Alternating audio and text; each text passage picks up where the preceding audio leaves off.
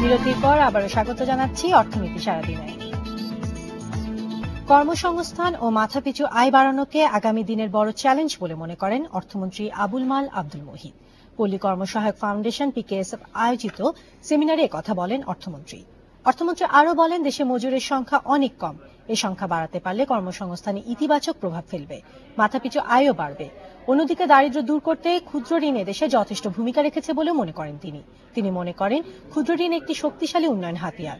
Doctor Yunus ক্ষুদ্র ঋণকে প্রাতিষ্ঠানিক রূপ দিয়েছেন বলেও মনে করেন অর্থমন্ত্রী। তবে তার মতে ক্ষুদ্র ঋণে দারিদ্র্য দূর করার একমাত্র উপায় নয়।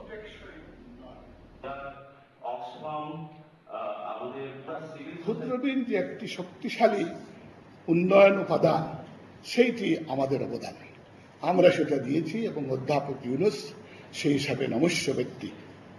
তিনি এটাকে একটা প্রাতিষ্ঠানিক রূপ দান করেন এবং তার থেকে আমরা দেখতে পাই যে ক্ষুদ্র ঋণ একজন মানুষের জীবন ধারণের মান উন্নয়নে একটা ব্যাপক অবদান রাখে।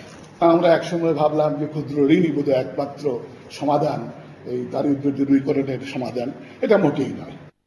গত অর্থ বছরে নব্বই ভাগের বেশি বার্ষিক উন্নয়ন কর্মসূচি এডিপি বাস্তবায়ন করেছে চৌত্রিশটি মন্ত্রণালয় ও বিভাগ। এর মধ্যে শত